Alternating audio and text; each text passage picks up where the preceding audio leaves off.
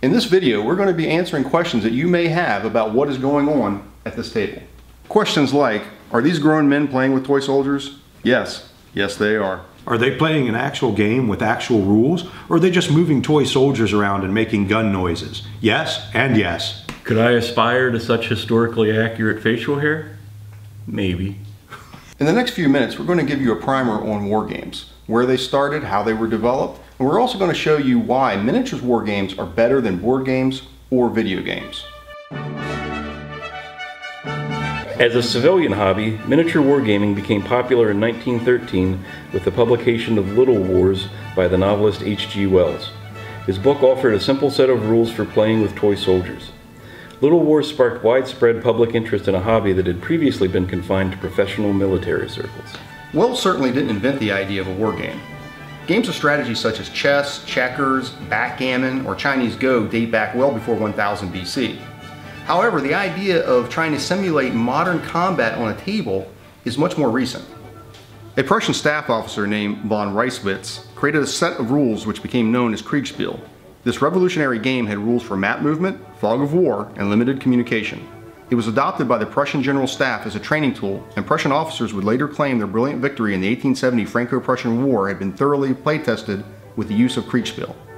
It didn't take long for other militaries and war colleges to adopt wargaming as a simulation and training tool, but it was H.G. Wells in 1913 who created the division between war games as a military training tool and war games as recreation and fun for civilians. That ushered in an explosion of mass market war games from companies like SPI and Avalon Hill. But around here, we still love the old-fashioned miniatures tabletop wargaming. H.G. Wells and his friends used to play games like this on the floor, dressed in suits. It was a gentleman's pursuit. We don't wear suits, and only one of us qualifies as a gentleman, but not much has changed since 1913. Part of the fun in this hobby is researching, assembling, and painting historical armies. We also craft terrain to fill the tabletop, and there are written rules to govern how the game is played. One thing that has changed since 1913 is that H.G. Wells is no longer the only author out there. There are hundreds of rule sets that you can either purchase or even get for free. And with these, you can game any period of history, any conflict, or any genre that you feel like. Some rules are simple with just a few pages, while others may be complex with over 100 pages of detail. Fundamentally, any set of wargaming rules tells players how far they can move their troops, how to roll dice to conduct combat, and how to simulate the morale and staying power of your miniature army. So that's it. That's what we're trying to do at this table. We're trying to outwit each other in this historical battle using toy soldiers.